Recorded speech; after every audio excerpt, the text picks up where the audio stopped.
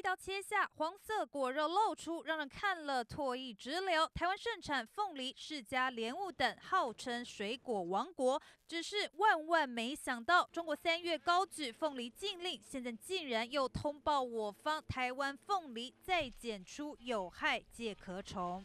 这个介壳虫还是叫做所谓的拔恰黑盾圆介壳虫，有史以来在台湾很少发现，在中国也没有发现的。有提供给你吗？呃，没有。对岸，对岸。当然没有。好，如如果以你现在的讲法是说，对方没有明确的市政，但是就是可能是什么政治性的动作啊？政治性的动作就不限于凤梨喽。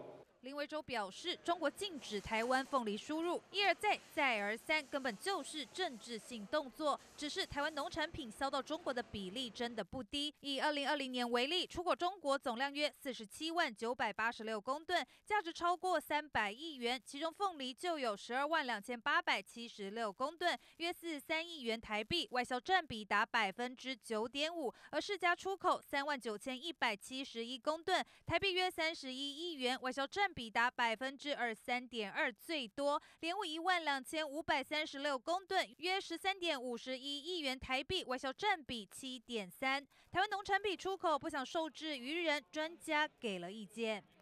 啊，农业部门会比较敏感，是因为这个门槛不是很高哦。那其他的国家，包括东协国家，都也是很轻易能够啊进入这个。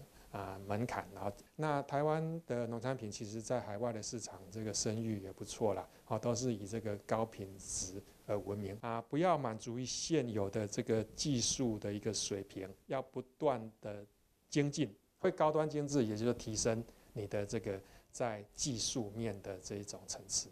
鸡蛋不能放在同一个笼子，要分散风险，打开世界通路。学者更建议，低技术含量的农产避免落于养套杀，把握技术，提高种苗品质，更要做出市场区隔，锁定顶级高端市场，才有机会突破重围。欢迎新闻，蔡宇志、杨植玉台北报道。